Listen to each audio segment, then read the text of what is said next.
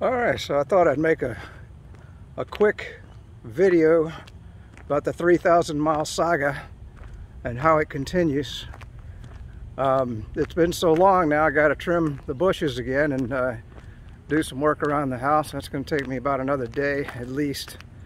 Uh, and then we'll, of course, start packing. But uh, I just thought you'd get a kick out of this. It looks like we're going to make a tire pressure video. and it was not by design. I can tell you that. So here's, here's what happened. Okay, the tire pressure sensor went off on the car. And I checked all the tires and they were all low, way low. One of them was way low. And so I had them check the tire for nails. Uh, the guy that I got, he wasn't a Toyota certified mechanic. I guess they just threw the, the, the dumbest guy at the dealer onto the car and uh, he told me that there was no nail in the tire and just to watch the pressure, no shit, Sherlock. You know, I got to travel 3,000 miles. I want to make sure that tire's okay. So then, come to find out, the son of a gun let the tire pressure out of the tires because he said they were overinflated. And I said, no, they weren't. I said, I checked that tire pressure myself. And the guy, you know, so he starts arguing with me. He says, well, you know, that tire, those tires were at uh, 30, 38 pounds. I said, well, yeah. I said, I just drove on an extremely hot day. You know, the tire pressure, what happens when those tires heat up is the air in them expands. And uh, so you'll, you know, so I pumped it up to 36 pounds, which is what it requires on the front tires, and 35 pounds on the back. We've talked about this for the Prius Prime. And uh, so, of course, it, it would uh, probably add a pound or two of pressure to those. So now he's underinflated the tires.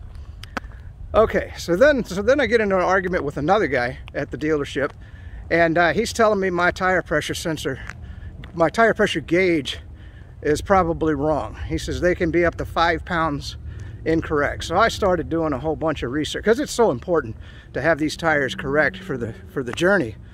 And uh, so I did some research, and he could be correct.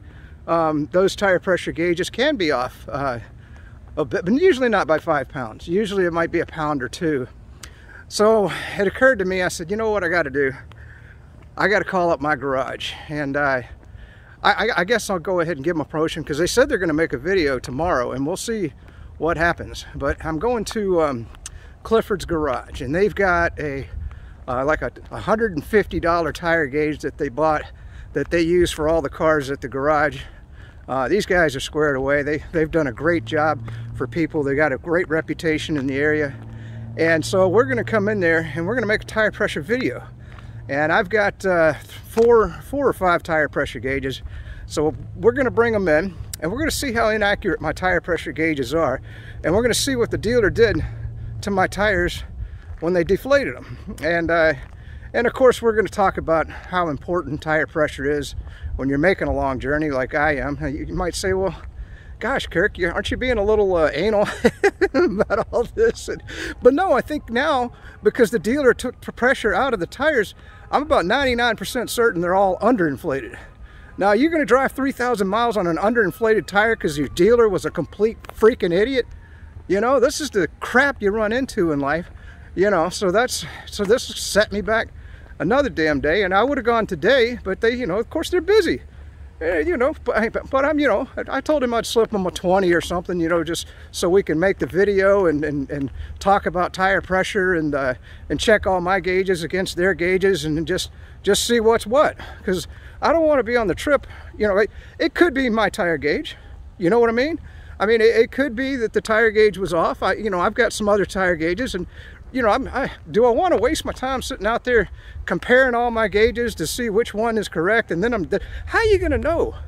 Unless you go to a place that has a really expensive, top quality tire gauge and compare your cheap, you know, AutoZone tire gauges. And, and then what the dealer told me, he said those little those little push out gauges are the most accurate. You know, the cheap ones that just have the stick that pushes out.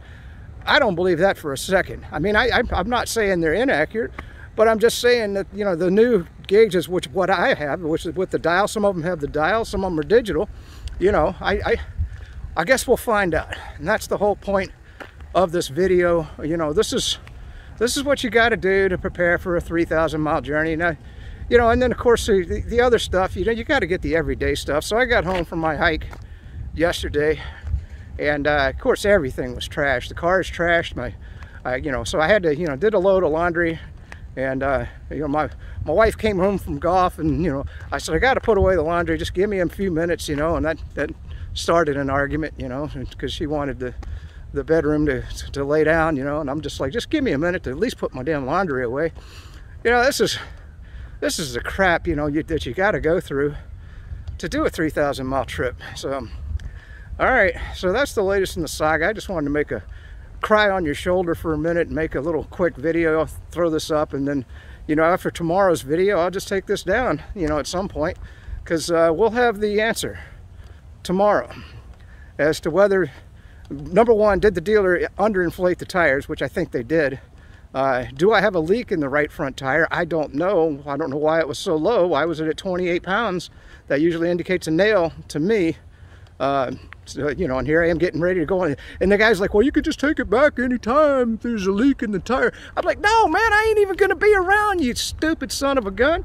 I'm heading up 3,000 miles away. I mean, I don't even know where, shit, I could be up in the National Forest, you know, two hours from a dealership before I could get the car taken care of. You know, these people are just ignorant, man. Oh my God, don't get me started. Holy moly. All right, that's it for this video. I just, uh, I'm just I'm just pissed off.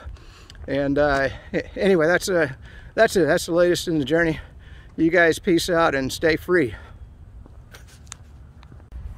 Oh yeah, you know, I always add on to these videos. I'm sorry. Uh, we discussed some other things at the dealership. Uh, one, I asked him if they wanted those cloth mats back. Uh, he said, "No, man, those things are valuable. You can you can sell those and get some money for them." I, I said, "Well, maybe so." I so I didn't didn't give them the cloth mats. Uh, the other thing that that I'm questioning, and uh, I guess I'll have to watch a live stream of the car care nut. He's a certified Toyota Prius uh, mechanic, and uh, you can you can throw five dollars in the kitty and he'll he'll answer your question. But the question that I've got is, do you charge that battery all the way up to 100%? And you know, you never charge a lithium battery up to 100% unless you're going to drive it that day. So what the dealership is telling me now is that they've already built in to the uh, the charging that those batteries only charge up to about 80 well not he said 90 percent. Okay so they charge up to 90 percent and that's uh, that's to protect the batteries which would make sense. That would make sense because you know why would Toyota let the happy homeowner charge it all the way up? But it says on the dash 100 percent so you see the conflict here, you know, so they're saying that you, even though it says 100%, you're really only putting a 90% charge on the batteries. I don't know. I don't know. And I don't even know who to ask to get the answer for that, uh, other than trust the dealer that, uh, that I can just plug it in and let it charge up completely and not worry about it, you know. Uh, am I going to do that? Probably not most of the time. I think what I'll do is just go in there and and when it hits uh, on on on my reading on, on, the car reading when it hits about 80% uh, just unplug it there. Um, the other thing was uh, you know in the manual it says don't use a power power strip or uh, you know extension cord. You know the, the, all the things that you know you're supposed to have a direct connection to the the breaker in the box and we've talked about that in previous videos. Um, but uh, I tell you what they proved they proved themselves because uh, what happened yesterday was I drove the car and the battery had no charge on it. And I had charged it up the night before, or I thought I had. And, uh, and I'm like, what the hell? I mean, you know, now it's something else broke on the damn car. Uh, no, what it was is the, uh, the, the, the, charger, I guess that uh, when it's charging the car, it pulled too much uh, and it flipped the um, flipped that um, power strip right off. You know, that's what the, that's the purpose of a surge protector is, you know, when, it, when you have too much uh, power flowing through it, it'll flip off to protect the, the wiring. So yes, now I have to plug it directly into the outlet uh, and that works fine. It did charge up. But I'm just, so I'm just, all I'm saying is that the manual is correct. You can't use a power strip uh, to plug the, um, the charger, uh, the charger wire into, to hook it up to the Prius Prime.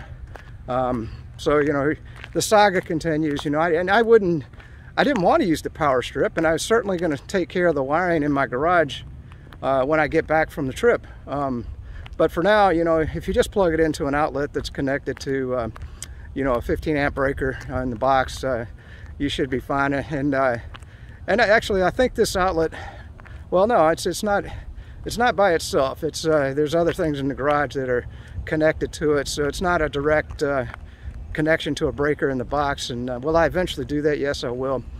So anyway, that's uh, that's just a, another thing for the, the, Prius Prime owner to understand is you know you are going to have to plug it directly into the outlet. Um, so hopefully you, you know you have an outlet there. Uh, I don't know about you, but my garage only has two. Well, well, I actually think it had yeah two outlets, and they were one one one bangers. You know, one one one outlet. like, so you can plug two things in your garage. Who in the hell on the earth only plugs in two things in their garage, you know. So you so you got to use power strips and and those uh, you know those things that you push in to, to give you six six outlets and stuff, you know. So it's it's just insane. All right, that's it. Okay, peace out for second time and be free.